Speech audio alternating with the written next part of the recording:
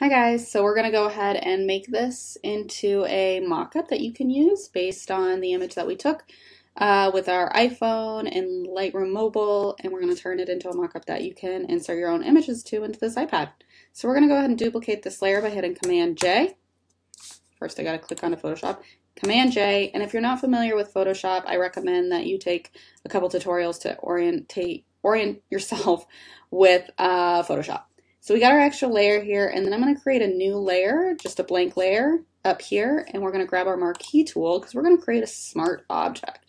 And we're going to draw a square roughly the size of our iPad. I'm going to say right there, it doesn't have to be exact. We're going to go up to Edit, Fill, Black. We're going to deselect, and then we're going to turn this entire layer into a smart object. So now that's in a smart object, we are going to make this smart object fit into our iPad. So I'm gonna hit Command T, and then if I hit hold Command, and I'm working on a Mac, so I'm not sure exactly what that would be on a PC control, and I'm gonna drag these edges to where I think the edge of a real image in an iPad would would extend to. So it's probably not going to go all the way to the edge, right? We're going to have a little bit of black there. And I'm not going to be as precise as I would if I was developing this for a client, but I just really want to give you guys the idea on how to do it yourselves.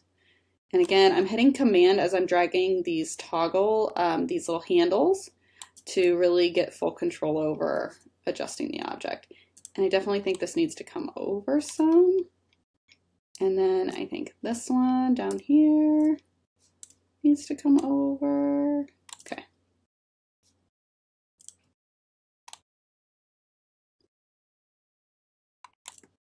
Just fine tuning. All right, so I think I'm gonna leave it at that. I'm gonna hit enter.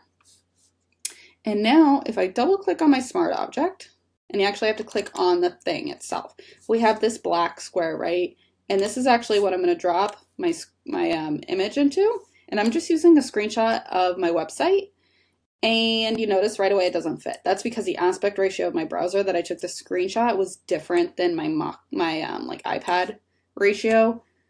So sometimes that can be an issue, but for this, it actually is okay because it still kind of has like fitting everything that I would want in there. So once I adjust that, um, I'm gonna hit OK. And oh, sorry, to select and transform, it's really just transform. So it's Command T. That's gonna give you all of this, and you can like scale it, but um, you know, or you can like grab Command again and like stretch it. So all of that um, happens with the transform tool. So that's Command T, and I'm just going to get that lined up. And once that's lined up, it's really easy. All you do is you click out of this, or you press Enter to, to save it. You close out of this, you hit Save, and voila, it fits right into your mock-up. How cool is that? And then you can adjust the opacity to give it a little bit, like, not so bright. So maybe your, like, iPad isn't at a full setting. You don't want to look at have it be like too bright. So I'm thinking like, so this is full brightness. I'm thinking like 97 looks good. So that's pretty much it. Smart objects are really awesome to use when you're doing mockups.